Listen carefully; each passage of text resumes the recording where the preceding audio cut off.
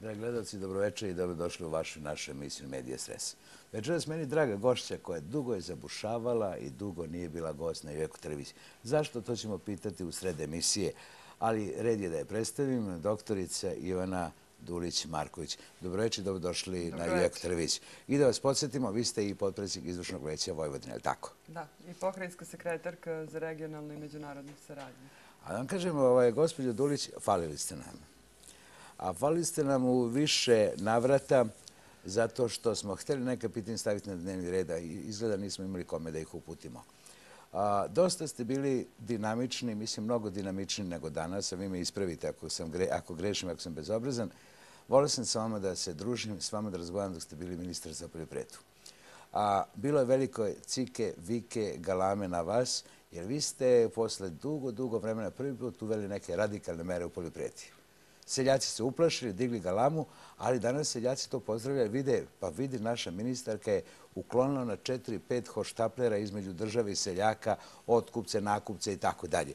Šta danas mislite o stanju u poljoprivredi i da li i danas u izvršno veću vojne, koliko toliko utičete na stanju u poljoprivredi? Pa, nažalost, te 2007. godine kada smo izašli iz vlade, ja više nisam dobila šansu baš zbog tih reformi i promena koje sam inicirala ja i moj tim, jer poznato je da u Srbiji ne vole reformatore, da je mnogo lakše ovaj, e, sve raditi po nekom e, defaultu, po nekoj navici. E, međutim, mislim da je velika šteta što nije nastavljeno, barem sa sprovođenjem te strategije, ako već mene nisu voleli tamo ali e, mislim da je stanje u poljoprivredi e, teško baš kao posljedica toga što nije nastavljena ta politika koju smo mi započeli. Da li vas to otpravdava? Izvinjavam se. Vi ste ovom studiju obećali da vi, vaš tim, vi ste ovde pre svega predstavljali vladu Republike Srbije, rekli da je došlo vreme da ste sistemski rešili stanje u poljoprivredi i onda stanete na pola puta. Pa, e, to mi smo želi da nastavimo, ali prosto demokratska stranka, demokratska stranka Srbije u onoj vladi i demokratska stranka u ovoj uh, nisu želeli mene, lično mene kao Ivanu Dulić-Marković za ministra i to je to. Dakle, nekome, uh, da li njima ili čak o nekima koji mogu da utiču na sastav vlade, smo mi smetali i mislim da je to bila ključna odluka. Mnoge stvari smo mi postavili. Juče sam baš razgovarala sa Jamesom Groofom koji je od 2000 četvrte godine dolazio kao savjetnik iz Američkog ministarstva poljoprivrede i juče mi je rekao kao Ivana treba da budete zadovoljni jer mnoge stvari kako ste postavili oni kao nisu mogli da sve baš e, sruše. Međutim, ja ne osjećam tako i e, posljedica toga što nije sprovodena ona politika koju sam ja onda objašnjavala i koja nije bila shvaćena, dakle, dobrima investicije, a nekomercijalnim gazdinstvima jednokratna podrška dohodku, koja je već do sada trebalo mnogostruko da se uveća. Ta politika nije sprovođena. Te dve, te dve akcije su zamenjene sa tim 100 evra po hektaru, što zvuči super, ali to niti pomaže dobrima da brže napreduju, niti rešava problem onih koji ne mogu da budu konkurentni i po mom mišljenju i dalje to je bacanje para iz budžeta. Ponekad... Ono što je, e, još sam da dodam, za mene veliki problem što uh, se ova vlada i ministarstvo, a moram da kažem, krivim najviše poljoprivrednike koji nisu pomogli ministru na neki način sa pritiscima kroz javnost da se uveća budžet za poljoprivredu. Dakle, budžet je ove godine 25% manji nego prošle godine, A ako se uporedi onaj budžet iz 2004. godine u odnosu na veliki budžet, onda je budžet 2009. samo trećina tog budžeta.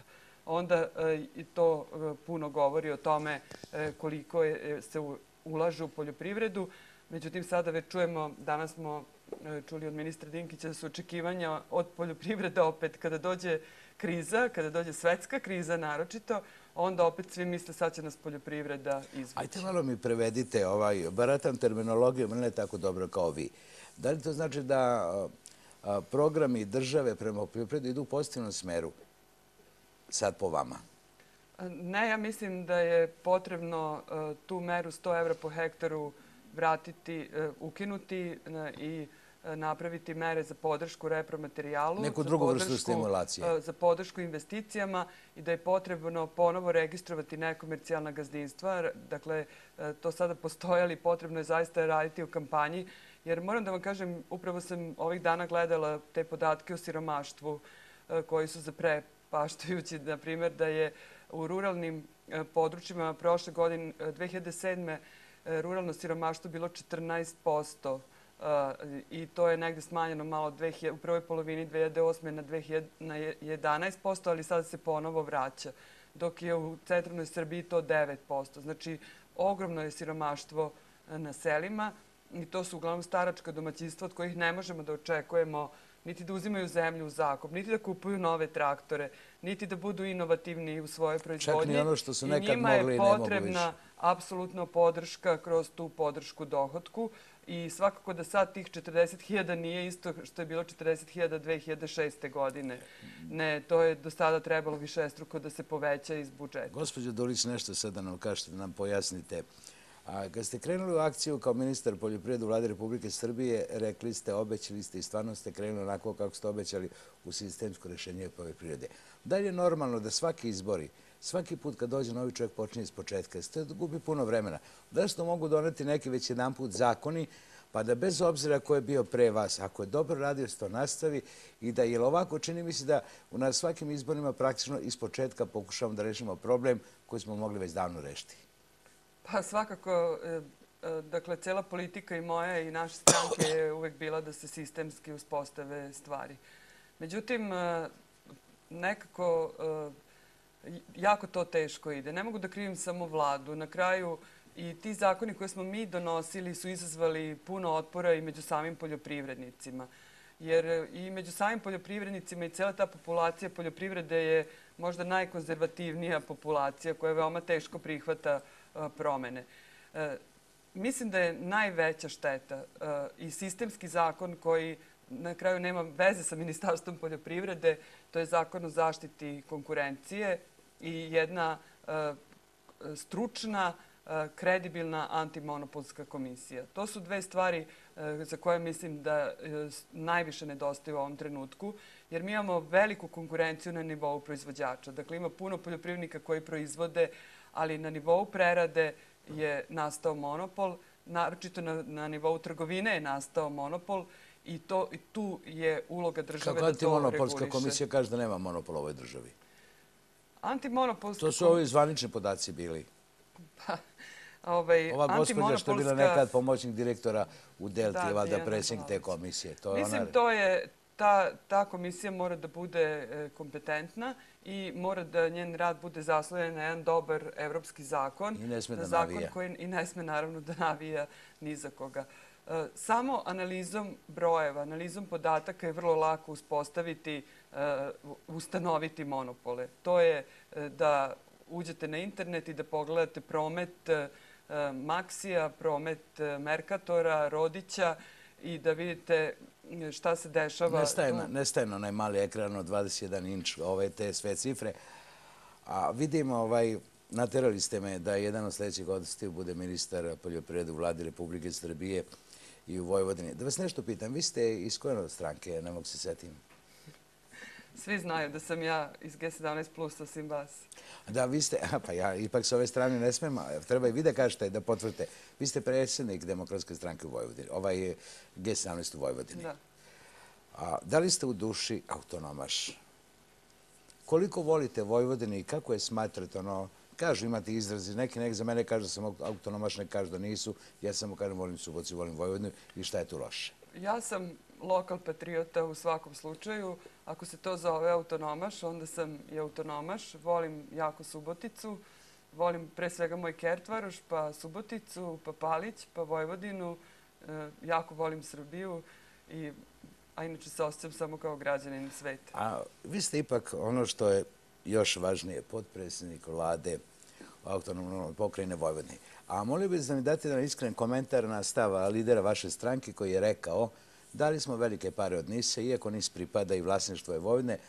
Red je da Vojvodina sama participira u izgradnji koridora 10, da participira u zdravstvu, obrazovanju i tako dalje. Koji je vaš komentar na to? moj komentar je bio vrlo jasan neki dan u dnevniku.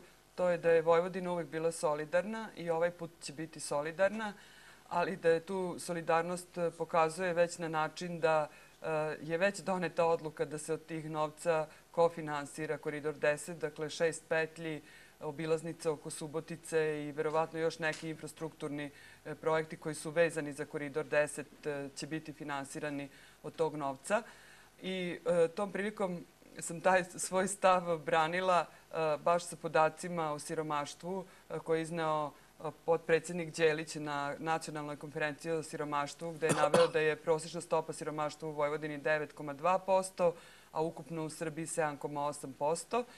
E, I e, sa time da, e, sa podacima da prosječna plata u opštinama, u 34 opštine Vojvodine je manja nego prosječna plata u Boru, gde država želi da uloži 130 miliona evra. Dakle, Vojvodina je bila solidarna, ali Vojvodina nema novca iz NIP-a. Dakle, NIP se odnosi praktično sada i ceo program NIP-a se odnosi na Beograd i na centralnu Srbiju većinom i na neke nacionalne projekte kao što je Koridor 10 e, i još neki koji su naravno i u Vojvodini, dok sa druge strane Fond za kapitalno ulaganja jedina sredstva koja će dobiti na kraju ove godine, to su ta sredstva od NIS-a.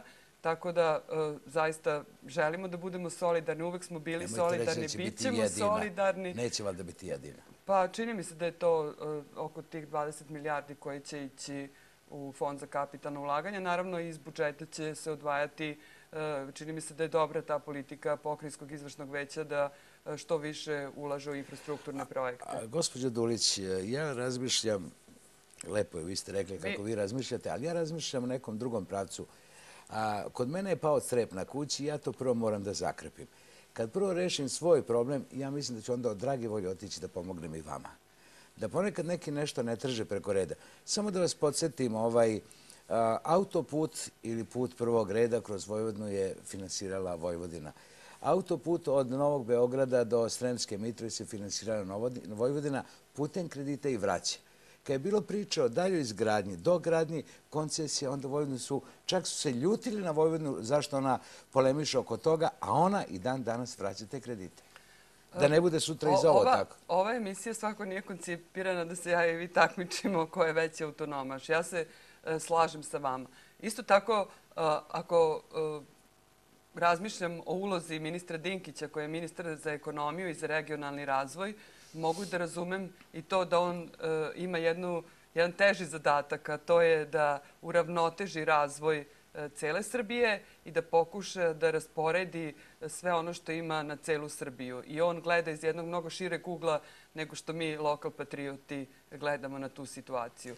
Dakle, uh, najverovatnije da vidjet ćemo nakon ovih pregovora zaključak i u kontekstu kojem je rekao i ministar Dinkić e, kasnije kada sam razgovarala sa njim, e, to se odnosi na solidarnost svih sa svima. Dakle, i Beograd će mora da bude solidaran i centralna Srbija. Ajmo sad malo službeno.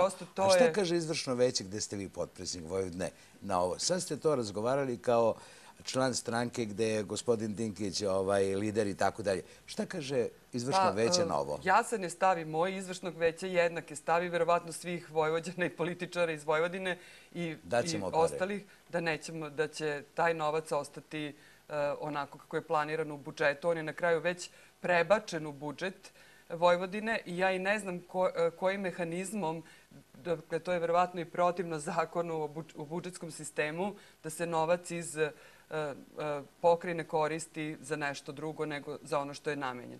Međutim, ako kroz statut i kroz taj zakon o utvrđivanju nadležnosti Vojvodina dobije nadležnosti koje je tražila u obrazovanju, u zdravstvu, e, onda je i normalno da svoje nadležnosti finansiraš sa svojim novcem. Dakle, i to je nešto što je meni prilično logično i nadam se da je to bila neka najava da će uh, taj zakon o utvrđivanju nadležnosti proći u redu i da će Vojvodina dobiti neke nadležnosti koje će biti izvorne, a ne samo transferi sa Republike. E, sedite u parlamentu kao potpredsjednik izvršnog veća Vojvodine, gde dvotrećinskom većinom je izglasan statut, to jest usvojen statut i dat dalje na republički nivo. Mi smo često ovde imali razgovor i sa gospodinom Lončarom, sa Korhecom. Pozivali smo goste koji su radili na izradi ustava, na izradi statuta i tako dalje. Šta je to po vama? Da li ima jedna stavka od onih osam tačaka koji su prikazani kao atributi države i stvara neku opasnost sutra nekog ocepljenja. Tu je bilo sukova mišljenja, ja to baš nisam shvatio, pa vas molim da me... Evo, bilo je, na primjer, Banka za razvoj. Pa zašto je Banka za razvoj atribut države? Akademija nauka. Zašto je, ja se izvinjam, ovaj, molio bih vas za taj kon. Da li ima bilo šta što možemo reći da je atribut države i da stvarno pa, pozicija u parlamentu Srbije smatra i upravuje i mora do nekih izmjena doći? Ne, e, statut je daleko od onoga što bi trebao da bude i što verovatno svi građani Vojvodine, bez obzira u kojoj su političkoj opciji, e, smatraju da treba da imaju, da odlučuju ne samo svom novcu, nego i u svojoj upravi i o svim drugim stvarima. Oni svoju vlast na kraju, ne vlast, nego oni biraju Vojvođansku skupštinu opet na slobodnim izborima, e, kao i lokalne samuprave, ali sa druge strane e, niko od nas ni ne želi da ima dva gospodara i u Novom Sadu i u Beogradu. E, mislim da većina građana Vojvodine bi najviše volela da većinu stvari može da obavi u Subotici ili u, u Malom Iđošu ili u Sentu ili u Bečeju i to je nešto, verovatno, zašto se većina Vojvođana i zalaže. Statut e, komentarišu i lupetaju o njemu oni koji ga nisu nikad pročitali. Svi koji su ga pročitali, e, njima je jasno da tu nema e, nikakvog atributa državnosti, jer jedna, da bi nešto bila država, mora da ima izvršnu, zakonodavnu i sudsku vlast. U ovom statutu niti ima sudske vlasti, niti ima zakonodavne vlasti, osim tih odluka zakonskih, takozvanih... A pogotovo ne vojske, policije i tako dalje. A pogotovo drugih atributa državnosti, tako da je to e, prosto ponižavajuće uopšte i raspravljati o tome. Sve ono drugo što je izazvalo polemike kao međuregionalna saradnja, predstavništvo u Briselu, znači međunarodnu saradnju možete da imate vi, mogu da imam ja, može da ima bilo koje preduzeće u Subotici, može da ima svaka škola, e, može da ima bilo ko može da sarađuje sa nekom sa nekim u drugoj jo, zemlji hvala, i to se zove međunarodna brzo, saradnja. Brzo mi Međutim, pomozite. spoljna politika je nešto drugo. To, to Vojvodina nije ni predvidela da vodi svoju spoljnu politiku. Sad ste me, ovaj, malo sam se uplašio kad ste ovo počeli. Pa i ova televizija kao pravno lice ima međunarodnu saradnju.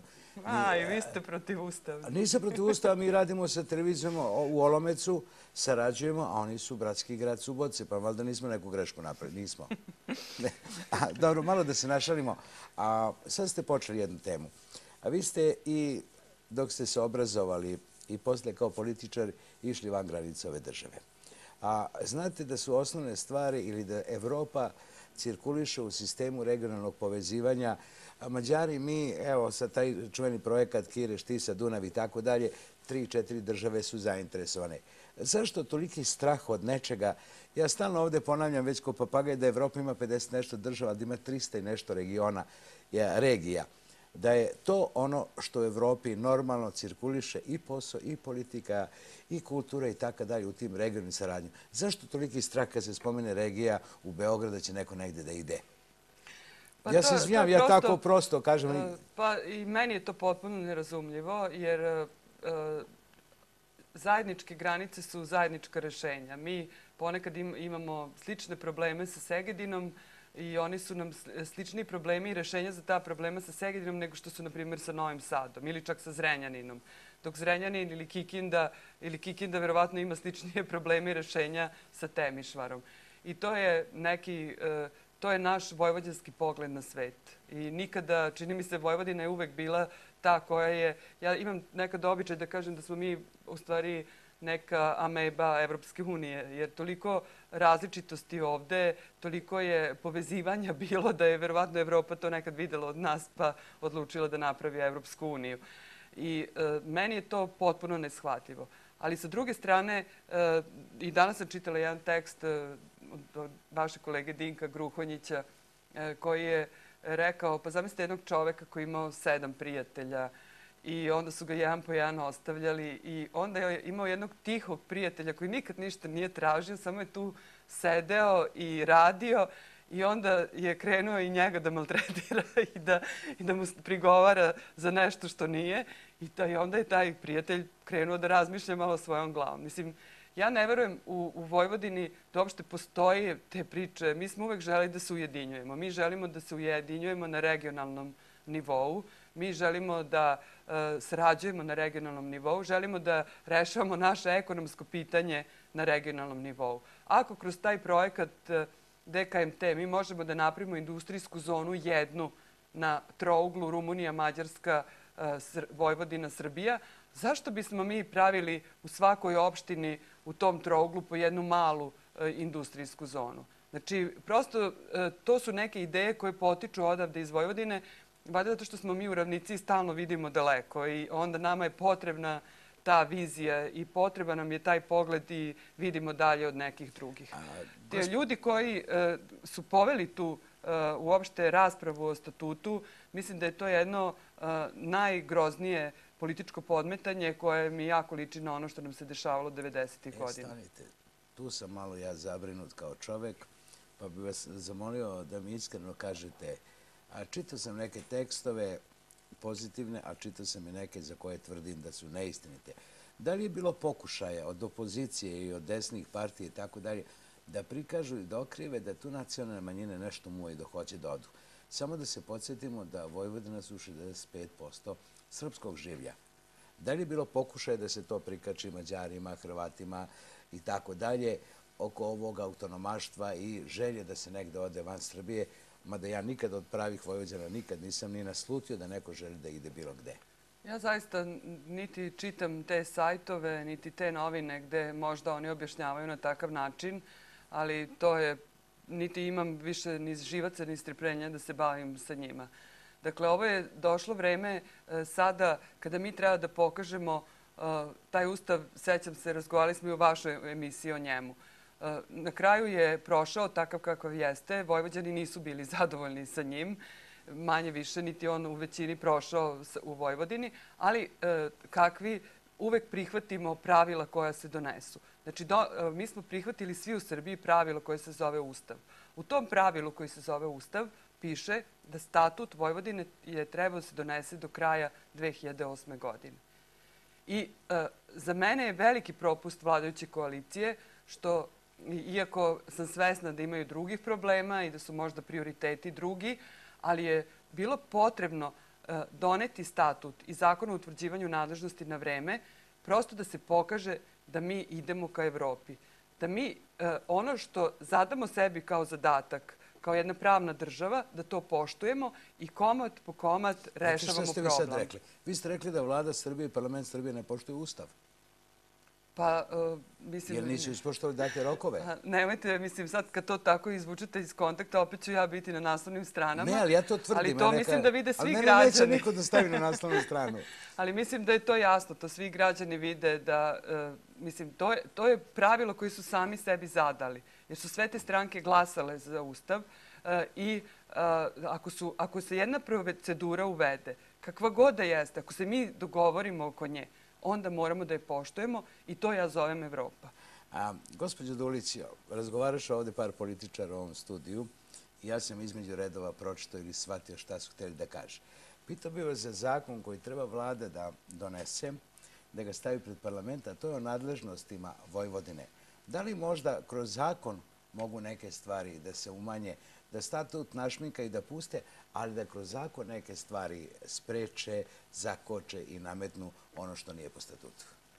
Ne, ja, e, ja sam pažljivo čitala i u nekim delimima e, tog zakona sam i pregovarala sa ministarstvima u Beogradu i mislim da je to jedna e, umerena količina nadležnosti, ali niko ni ne treba da preuzima više nadležnosti koliko je sposoban da ih sprovede u život. Tako da ja mislim da je zakon i da je gospodin Korhec zaista se jako potrudio oko njega i svi oni koji su mu to, sa kojima je sarađivao i koji su mu pomagali, da je on usklađen sa statutom. I isto tako mislim da e, koliko imam zvaničnih i nezvaničnih informacija evo do današnjeg dana, 17. marta, e, da ni u Beogradu nije bilo nekih e, velikih primetbi na taj zakon. I ja se ja, nadam da će zakon on... Zakon o utvrđivanju nadležnosti. da, da. da jer nije, e, mislim da nije puno ovaj, promenjen. Promenjene su neke stvari kao što su fondovi e, koje je pokrajina tražila, ne znam, zdravstveni fond, ali na samoj sednici veća sećam se da je pokrajinski sekretar rekao da je tu potrebno promeniti 30 drugih zakona da bi se ta nadležnost mogla sprovoditi u život. Po meni je mnogo bolje neke stvari u ovom trenutku možda ne dirati ako one mogu da proizvede veće probleme nego u kojima smo mi sad. Jer da li možete zamislite naš republički parlament kako menja 30 zakona? Mislim, ja, da treba mu par godina, da, jasno. Treba mu par godina da to dovede u red. A mi ipak e, se borimo za neku proceduru u red. Tako da, ja verujem da e, će taj zakon biti uskoro. Nažalost, neće biti do kraja marta i Vojvodina će morati da donese e, budžet koji neće biti u skladu sa zakonom o utvrđivanju nadležnosti, ali pošto se već planira rebalans budžeta i na nivou Srbije, e, tako verujem da će, e, kada se donese taj zakon, biti jednostavno promeniti i pokrajinski budžet. budžet Vojvodine? Sednica je zakazana za 31. mart i već su svi pokrajinski sekretarijati dali predloge budžeta. Neki se žale da ovaj ne mogu da rade zato što budžet nije usvojen i tako dalje. Ali da vas pitam pa, nešto... Privremeno je finansiranje i ono je restriktivno. U nekoj situaciji koja je sada gde su prilivi u budžet mali, to možda i nije loše da država smanji javnu potrošnju. A u kom smislu ste mislili ono vaša koleginica ode tri meseca u jedno javno predzeće pa mazne 15.000 za otpremninu, pode u drugu pa mazne 10.000, pode u treću i tako dalje. Ne kaže vaša koleginica, mislim na članove, a na ljudi koji rade u republičkim javnim preduzećima, jer, no, to neću sa vama, to ću druga emisija. Gospođo Dulić, da mi date obrazloženje i da mi kažete iskreno, šta je vlada Vojvodine, šta su građani Vojvodine dobili sa tim što je Ivana Dulić-Marković, podpredsjednik vlade i što je uopšte u vladi Vojvodine? Šta smo mi dobili od toga? Pa, čini mi se da, ne mogu još tačno i konkretno da kažem, ali o, mogu da ispričam nekoliko stvari koje su započete i za koje verujem da će doneti i konkretne, e, vrlo konkretne koristi građanima Vojvodine. Pre svega, mi smo se veoma aktivno uključili u, e, u pripremu za korišćenje e, sredstava za prekograničnu saradnju i to nismo se uključili na način evo sad mi krećemo iz početka i mi smo ti, iako po zaduženju koje smo dobili da koordiniramo sa svom međunarodnom saradnju i sekretarijata i lokalnih samouprava, nego smo prosto se udružili sa onima koji već dobro rade. Da bi vam to nekako objasnila, evo, mogu da kažem, mi sarađujemo, najbolje sarađujemo sa Ministarstvom financija i vi sigurno znate da i ovde u Subotici ima ta njihova antena kancelarija gde su gospodin Krtinić i e, gospodin Relja Burzan. Burzan i tako dalje. Da, koji su e, zaista veoma kompetentni i rade i mi se trudimo da uz njih, da mi e, radimo sa njima.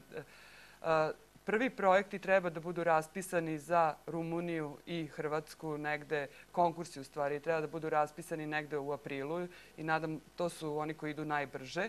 Nažalost, sa Mađarskom ide veoma sporo, još se nije uopšte sastala ta zajednički nadzorni E, komitet, jer se čeka da mađarska vlada odobri odluku o predfinansiranju od 15%, ali znači, lobiramo i kod Mađara. E, u okviru DKMT projekta radili smo sedam različitih radionica za pripremu tih projekata.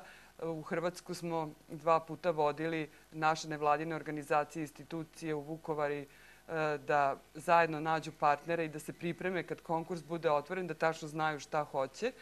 I mislim da je to nešto što je jako dobro, jer, na primjer, e, prošle godine e, kada su te pripreme sve dobre, kada su ljudi obučeni, kada nema nedoumica, onda je iskorišćeno tih sredstava 99,29%. I ja mislim da je to ono što mi treba da radimo kao prioritet, dakle da, da budemo servis, a ne da budemo smetnja e, građanima.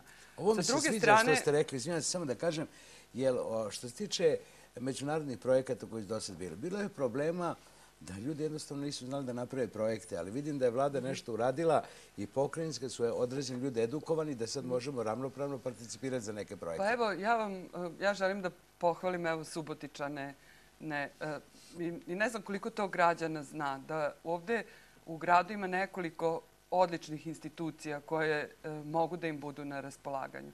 e, spomenula sam ovu kancelariju, malu kancelariju, ali sa dva vredna čoveka, to je velika stvar. To je kancelarija Ministarstva financija.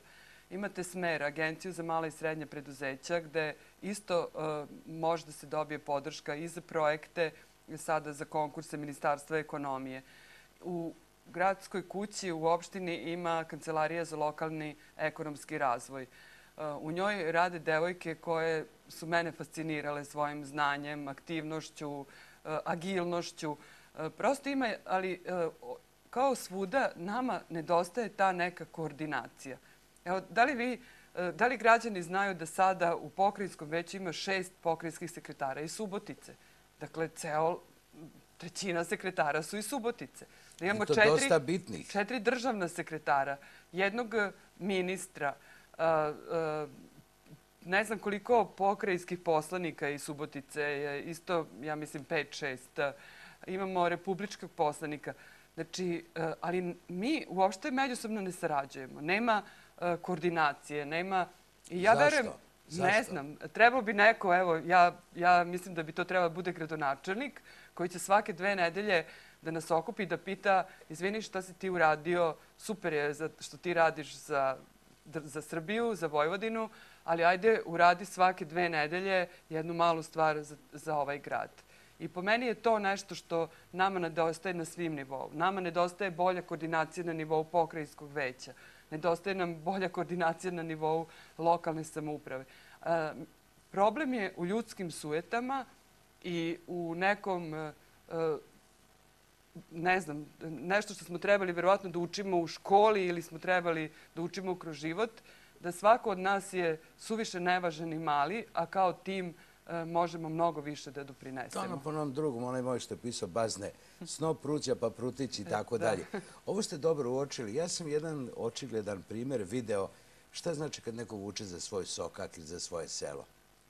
A vaš kolega u parlamentu, ovaj, izvinjavam se, bivši ministar za kapitalne investicije Velje Ilić, verujete da ljudi pale sveću njemu za života, Ravna Gora, Mionica, taj deo, jer čovjek je sva sela povezivao asfaltima, napravio je. E tako se radi za svoj sokak. Nadam se da ova poruka pa vaša ne, stigla. Ne, ja, ja malo se malo i šalim, to je jako to karikirano kako ste rekli. Nije uloga svakog ministra da asfaltira samo svoju ulicu. On, on mora da ima viziju, on mora da ima u vidu celu zemlju. Ali u svakom slučaju ne sme da, isto tako ne sme da zaboravi, mislim, koji građani su glasali za njega i ne sme da zaboravi da jednog dana mora da se vrati ili bi bilo poželjno da se vrati u tu malu varoš iz koje je otišao? Da, nisam ima baš tako mislio banano kao što sam rekao. Velja je to pošteno odradio. Nama, pa ne znam, ja nama sam, je obećavo, tamo je gradio. Ja sam živela u Čačku i, i nisam uh, videla sve to. Idem svake godine u Čačak, tamo su deda i baka od ali ne idete dece. preko Mionice i tako pa dalje? Pa ne idem, ali nije to baš neka sreća kao što on priča. Da, ali uh, mislim da je ovo vaša vaš predlog stigo tamo gde treba, da će ljudi čuti, jer ovaj grad, koliki toliki, toliko ljudi ima, što kažu, na značajnim funkcijama i pokrini Republici, da ipak dovoljno mogu pomoći svom gradu, jer kad tad vratit će se, a i porodice su im danas svom gradu. To je dobro što ste im rekli, možda i da ih imenujemo pa za svaki slučaj da se zna, ovaj, ali siguran sam da ako neko prenese ili ako gleda gradonačelnik, da će poslušati ovo što ste sada rekli. Puno toga ste rekli. Vi ste rekli da ste iz stranke G17. Gde je danas G17? Kakva je to danas stranka? Da li ste jači nego što ste bili ili ste malo umanjili ili pravite program da sutra budete još veći? Snaga stranke se meri na izborima i to je jedino što je relevantno. Do izbora svako mora da radi najbolje i sve snage i mi verujemo da je to najbolja preporuka. Mi trenutno imam, učestvujemo u najvećem broju opština u Vojvodini u vlasti, u lokalnim samupravama. Učestvujemo evo, u nekom malom procentu u pokrajinskoj vlasti kao neki novi igrač u toj koaliciji koja je i pre bila u Vojvodini. Nije novi igrač, ali nije mali igrač kad ima i potpredsjednika vlade. Pa dobro, ima četiri potpredsjednika pokrajinske vlade, tako da nije to baš neka moćna funkcija, mada jeste značajna. To zavisi od čoveka, Dobro koji, nosi, to zavisi od čoveka koji nosi funkciju. Slažem se. Ovaj, I ono što je naša vizija je da pokušamo najviše na tom delu dakle, ekonomije i nekih da pokušamo da pariramo sa onim što imaju naša ministarstva u Beogradu, da doprinesemo reformama i u društvu i da u ovim novim okolnostima svetske ekonomske krize radimo konkretno na tome da što više ljudi ostane zaposleno. Dakle, više ne možemo ono što smo pričali u kampanji, da povećava se zaposlenost i sve to. Sada je došla situacija da se prosto bore za svako radno mesto, ali ne zapošljavanjem u javnoj upravi, nego prosto pokušajem da se privreda ostavi u životu. Šta mislite, koliko je tačno ovo što i MMF traži od nas i tako dalje, a i članovi vlade od Beograda do Novog Sada kažu idemo da smanjimo administraciju. Ima nešto toga? A svaki izbori su to obećavali, a svaki izbori su doneli po 2-3 hiljade novih radnih mesta baš u administraciji. administracija je jako troma i veliki je problem što praktično državni službenici su zakonom zaštićeni kao beli medvedi. Neko je to unapred... Jeste zakonom o radu? Pa na njih zavisi neki, e, za nas je e, drugi zakon, to je zakon o državnim službenicima koji je mnogo, čini mi se, e, bolji za radnike u državnoj upravi nego što je bolji ovaj zakon o radu za, za radnike ovaj, koji su u privredi. I vrlo je teško otpustiti nekog. Sa druge strane, koalicije koje su nestabilne i koje e, zavise od jednog ili dva glasa u parlamentima, isto tako e, vežu ruke svim onim koji žele da naprave neke reforme. U pokrini to nije slučaj, pošto, iskreno govoreći, demokratska stranka bi mogla bez svih ovih koalicijonih partnera da ima većinu u pokrajinskoj skupštini i čini mi se da sama pokrajinska administracija i nije e, velika, ali e, sa druge strane mogla bi da bude mnogo efikasnija, da bude manja i efikasnija. Što se tiče lokalnih samuprava, ja sam u onom periodu dok nisam bila u pokrajinskoj vlasti radila u komisiji naleda za ocenu opština za poslovno okruženje i tu sam se stvarno nagledala svega po opštinama. Dakle, opštine iste veličine imaju po tri put, neke opštine imaju tri puta više zaposlenih od drugih.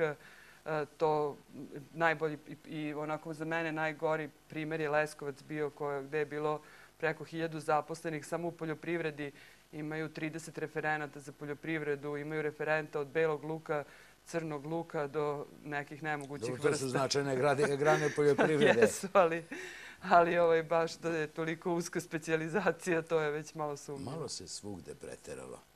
A,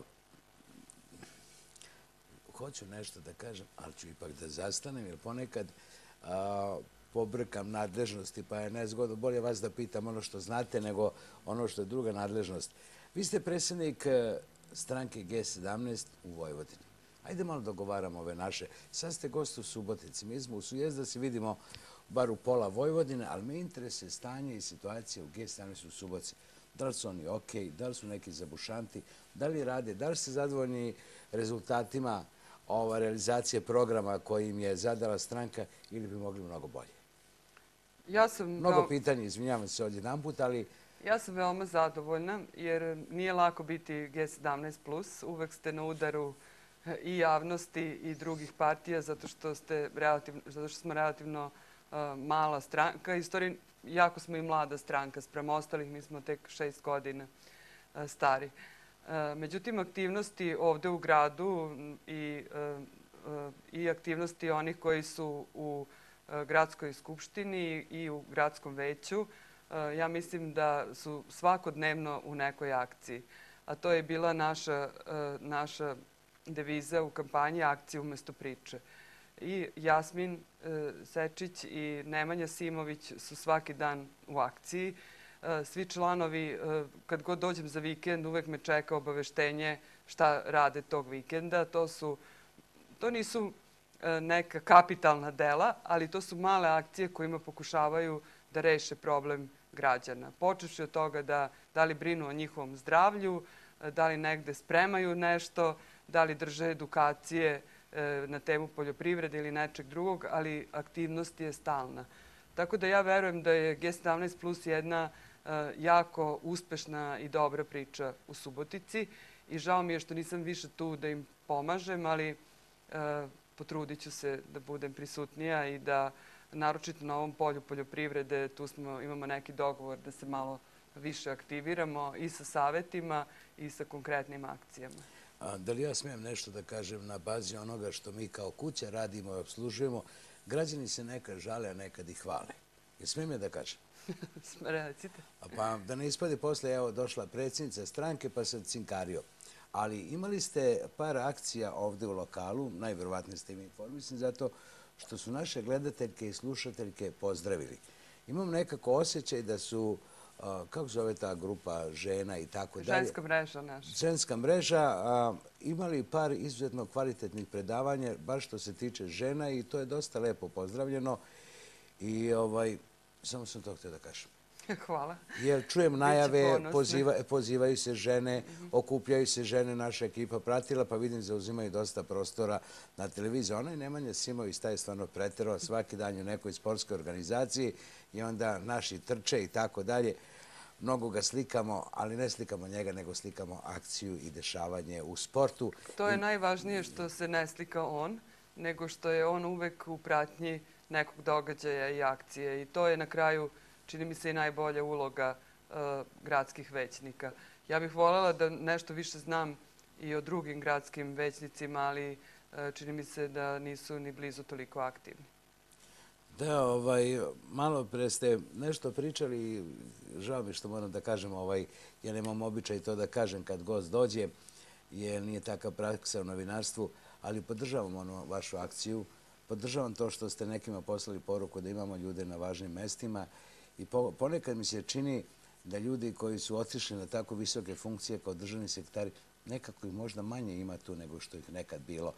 Mislim da u ovom gradu je svaka njihova saradnja i pomoć s tim da ne, kako kažem, ne da, da ne zapostave druge krajeve, ali je jako bitno da znaju odakle su i koliko mogu da... Da se ne stide odakle su otišli. Tačno i da vide da ipak nešto mogu i svom gradu ovaj, uraditi. Interesuje me nešto, ovaj, pošto ću uskoro biti deda i tako dalje, imamo često komentar oko tog dečeg pozorišta. Može to malo da se nekako pogura.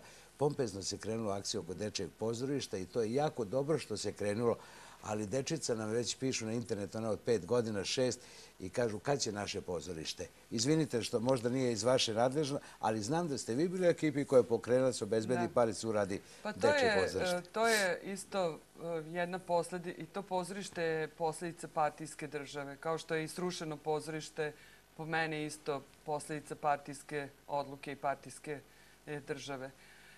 Kao što znate, kada je započet projekat NIPA, koji je inicirao Mlađan Dinkić i koji je trebao da upotrebi na najbolji mogući način taj novac e, dobijen od prodaje Mobtela, dakle da to ne ode u neku e, javnu potrošnju, nego da se e, da uđe u, u infrastrukturu. Tada su prošli ti projekti koji su bili Velika terasa, Dečije pozorište, još nekoliko projekata u gradu i to su onda Prišli smo i mi to onda zloupotrebljavali, moram da kažem, kao G17 Plus je doneo te projekte.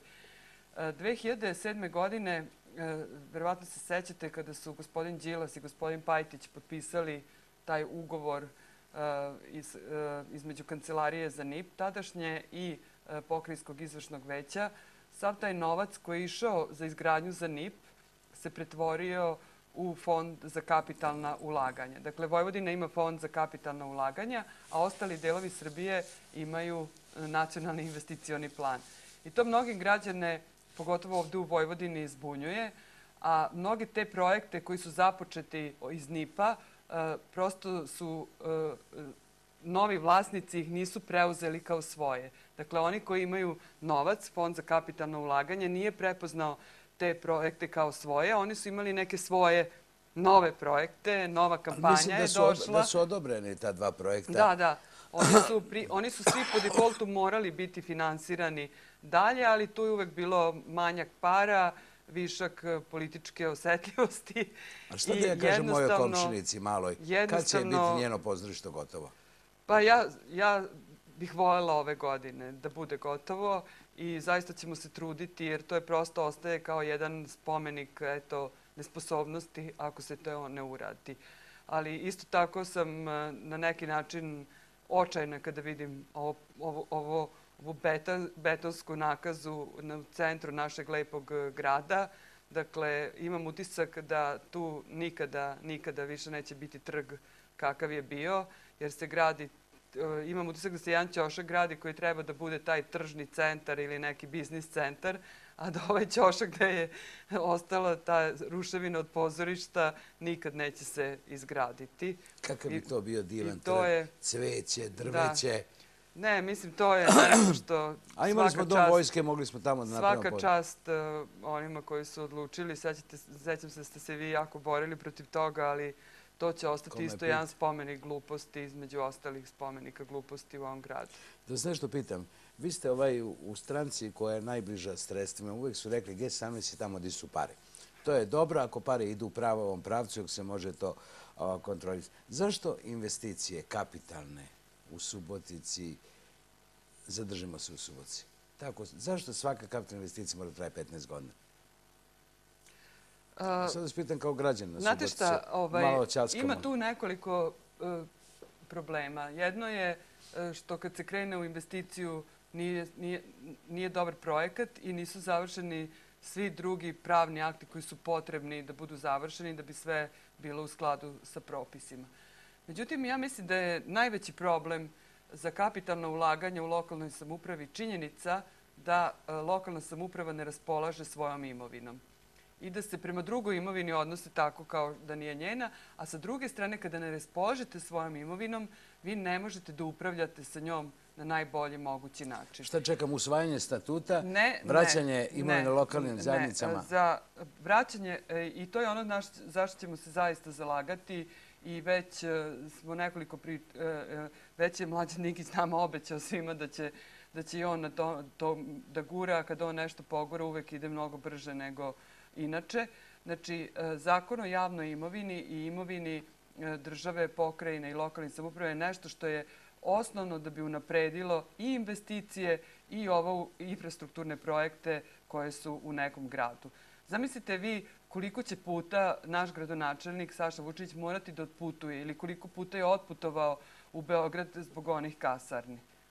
A da je to imovina lokalne samouprave, oni bi mogli da donesu... Već davno bi bilo u funkciji novih radnih mesta. u funkciji. Ne samo to, nego i sve druge e, investicije u gradu. Kada imate imovinom, dakle, vi donosite odluku, vi raspolažete, snosite i dobre i loše posljedice. Ovako, svaka lokalna samouprava se ne vidi da li je dobro ili loše, jer uvek može da se vadi na Novi Sad, na Beograd, na nekog ministra, na svetsku krizu, na nepravdu iz svemira, a, jer ima taj argument da ne upravljaju sa imovinom. Na ulici komentar između dva penzionera. Šta kaže oni divane tu bez veze?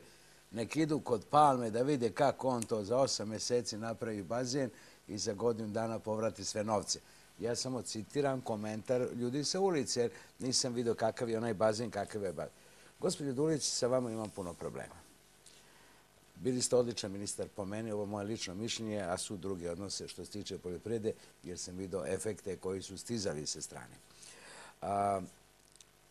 Predsjednik ste demokratske stranke. Nisam, ovaj, nisam. Predsjednik ste G17, zajedno ste u koaliciji, nadam se da ni oni ni vi mi nećete zameriti. Potpredsjednik ste izvršnog veća Vojvodina. Imamo toliko tema koje bi mogli pričati i mislim da bi da radimo novinarstvu napravili jedan serijal intervjua sa vama. Pa bi vas molio na samom kraju emisija Vreme proleti tako kad ovaj, imam prijatnog gosta. Voleo bih da mi kažete sve ono što vas nisam pitao. A ono što vi smatrate da poruka mora da dođe do Subotičana. Da li je to pitanje stranke, da li je to pitanje vlade, da li je to pitanje bilo čega. Izvolite, mikrofon je vaš, ja ću samo da sedim i da vas slušam, a vi pričajte. Naravno i kraju poruka našim gledacima. Ono što meni se čini da je da će ovo biti jedna jako teška godina i naravno sad nisam ništa novo rekla. Ali kada je neka kriza i kada nastaje veliki problem, E, mislim da mora nešto se ponaša, promeni u ponašanju svih. To je ono što mi moramo da promenimo u našem ponašanju je da prestanemo da nalazimo krivce u našem gradu i da pokušamo da ne samo tražimo solidarnost od drugih, nego da mi budemo solidarni i sa našim gradonačelnikom i sa celim našim gradskim većem i da svako od nas, i kao građanin, i kao funkcioner, se pita šta ja mogu e, da uradim za ovaj grad. To je nešto što nas jako podsjeća na Zorana na Đinđića i na Kenedija. I na Kenedija. Ovaj, I da svako od nas se pita šta ja mogu da uradim za ovaj moj grad. E, mislim da je to nešto što e, mi moramo, bez obzira kad smo došli u Suboticu, E, da li su to došli naše pradede, čukundede, da smo došli pre tri godine, pre deset godina ili dvadeset. E, ovo je naš grad i dogod smo ovde sa adresom stanovanja, e, nemamo bolje mesto za život nego što je to Subotica, a samim tim što je Subotica jedna stvarno varoš za koje za sve ima mesta, a naročito ima mesta za one koji puno rade.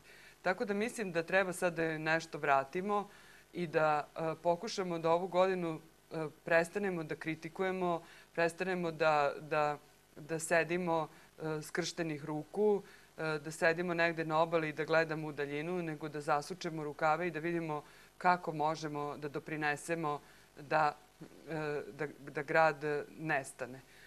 Sa druge strane, isto bih apelovala na, i na gradonačelnika i na gradsku upravu da, da mislim da ja sam zadovoljna kako je on počeo da radi i mislim da treba da pokaže da je dobar menadžer i da prihvati i da pokuša da rasporedi teret eh, tog upravljanja gradom i na druge ljude i da svakog svog saradnika maksimalno optereti ne gledajući koja je stranka, jer ovo nije vreme kada treba da vodimo političke kampanje, nego prosto da radimo što više.